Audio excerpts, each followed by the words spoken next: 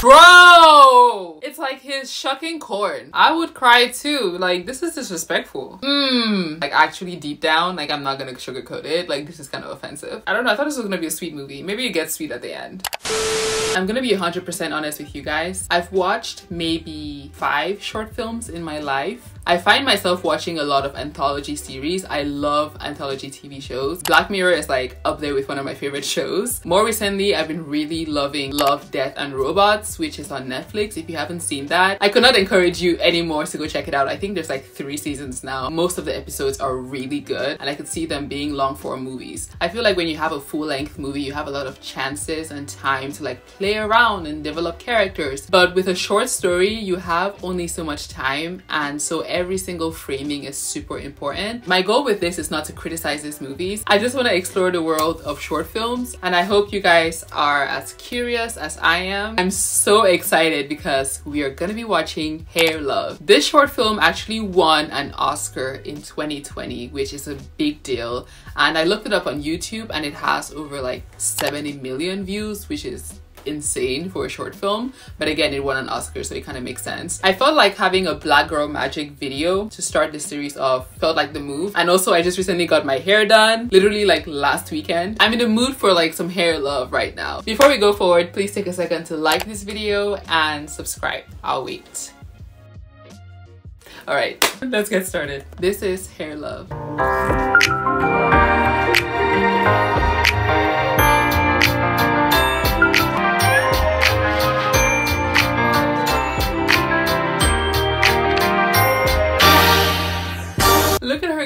little bonnet. So I grew up in Cameroon, which is in West Africa.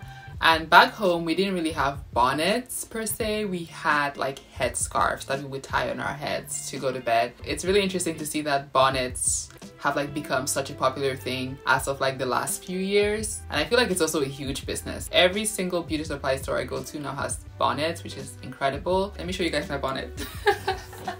Since this is hair love, I feel like I should, okay?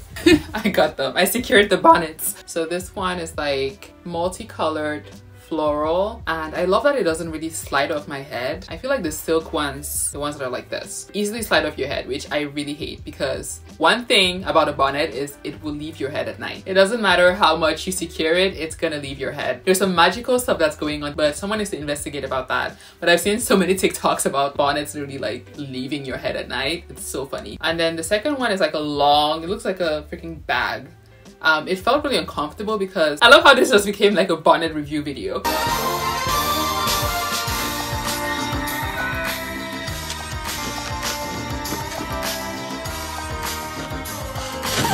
Hold up. Is this... Give me a second. Is this three-year-old about to do her own hair? That's not even hair anymore. That's like a jungle, okay? For a three-year-old, that's, that's a lot of hair. I'm trying to guess if the kid is mixed or not, but I mean, it's an animation, so I guess it's gonna look different. But if you're fully black, your hair does not look like that. It's worse. Let's just say that. I've seen worse.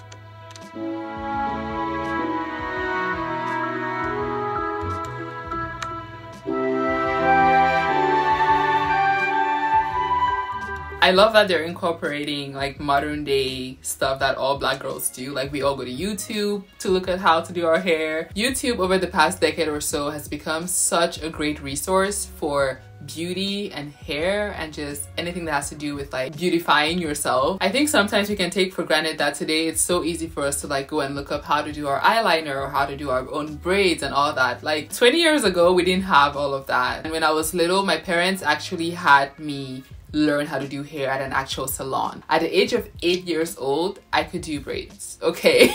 I could do cornrows. I could put in a weave at the age of eight. My parents understood how important it was for me and my sisters to like know how to do hair because when we came to America, we were the ones doing each other's hair. Like I would do my sister's hair. When my hair got old, she would do my hair and we never spent a dime on paying anyone to do our own hair, which is actually something that I've never really appreciated and like thought of. Hair care is super expensive out here, okay? Thank God for YouTube.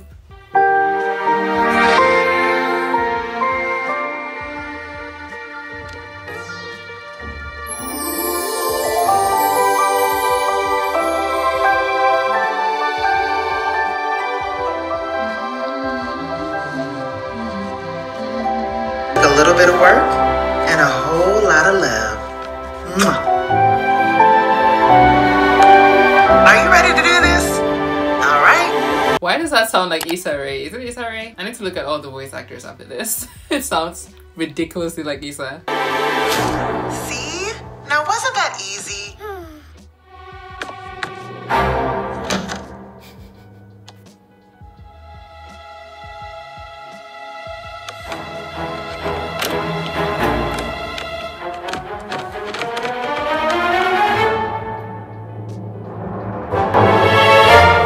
accuracy is kind of scary. Where did they get this photo of my actual dresser? How many hair products does one need? And does it actually help? That's the one thing I'm trying to figure out because I've been buying so many edge controls. I have like three edge controls in there. Only one of them works and it took me a while to find that one. Like the one I have on right now is like incredible because it doesn't really leave any like white marks. I'll leave the name of it down here if you're looking for edge controls. A lot of black hair products are just fakes. The hair business is very profitable, but they kind of take advantage of that and like sell a lot of like terrible products. Honestly, use the comments below to like drop your favorite hair product. Why was the dad about to like give up so quickly? man, man.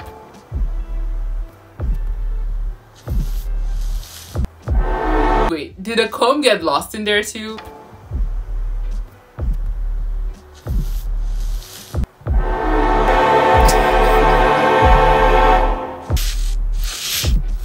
Bro! It's like he's shucking corn. I'm actually kind of offended by this. Why did this just become like a horror movie?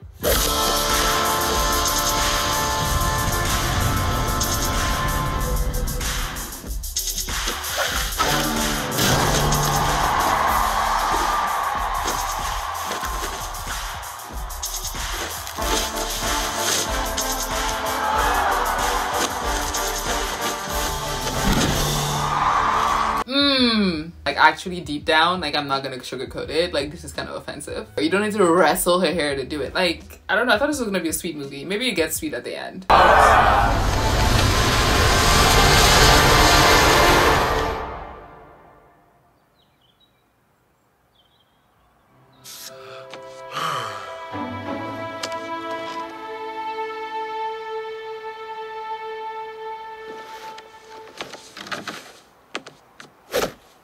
Of the year. I would cry too. Like, this is disrespectful.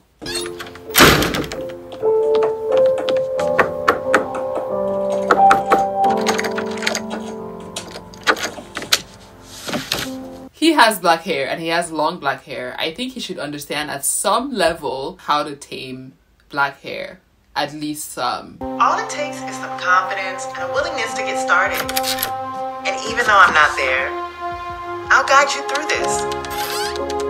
I want to thank my very special assistant, my daughter Zuri, for helping me with today's vlog, like always. Mm-hmm. And remember, the road ahead might look rough, but you can make the journey with a little bit of work and a whole lot of love. Mwah.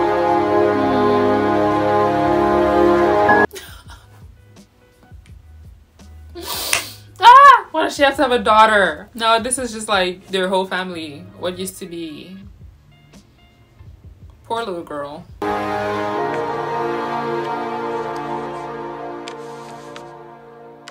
you ready to do this? All right, here we go. First, you want to moisturize these beautiful thick curls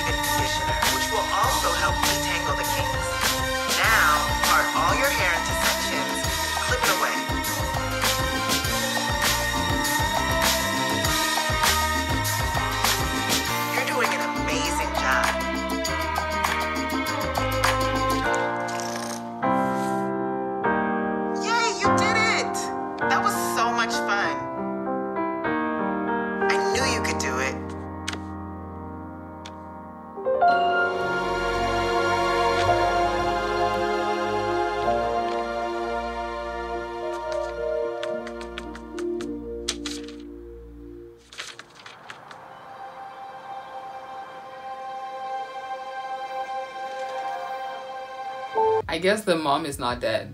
I'm so sorry. I did not know that. But now she has cancer. They're really pulling at some heartstrings here. They're trying, but I'm not crying yet. I'm not crying yet, okay? I think I'm tough.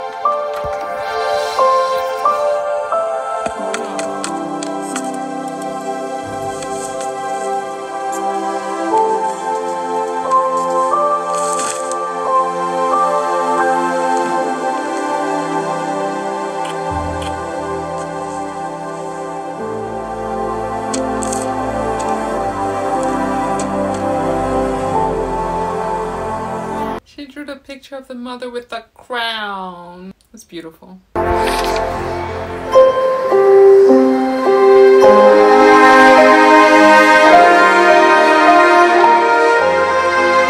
She's a bald queen, okay? There was a time when I was a bald queen too. I really enjoyed it. There's something about taking a shower when you have short hair. Like it's kind of underrated. It's almost healing. Whenever I have braids, I'm kind of jealous of people who can like wash their hair every single day and just feel the cold water rolling down your scalp. I think there's like some medical benefits to like feeling cold water on your head.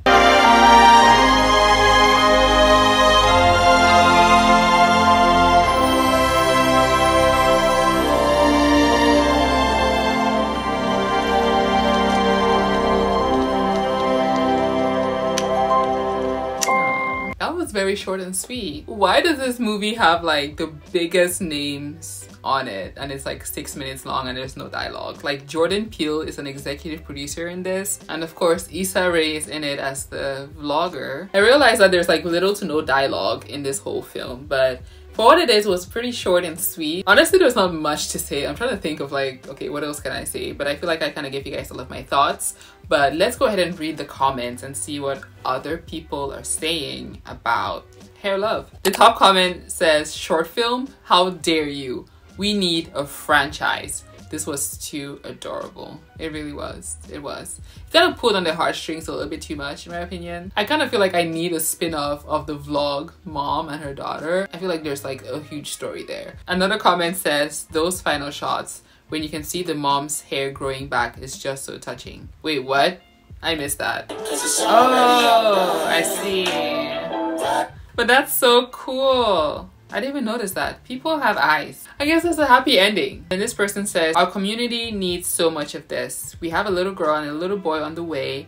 We struggle to find images like these to saturate our children with. Yeah, there's not that much education material for black kids to learn about their hair and how to love their hair. Personally, I would not say I have a good relationship with my hair. I feel so jealous of women who are like, oh my god, I love my natural hair. Like, I love, you know, the curls and I love taking care of my natural hair. I made the executive decision last year that the natural hair movement was not for me because it just added way more stress in my life because of just like how much work it was to like tame it every single morning. Also, it just hurt really bad just like touch my hair. It was too much and I would yeah, it was just a lot of things going on. So I decided to perm my hair last year and honestly, I don't regret it one bit. Thank you guys so, so much for watching this video. If you want to recommend any short films that you want me to watch in the future, please leave them down below. If you enjoyed watching this video and want to see more from me, please like and comment below and let me know what your favorite part about this movie is or if I missed something that you think is super important, I want to know. And also subscribe. I'll see you in the next video. Bye!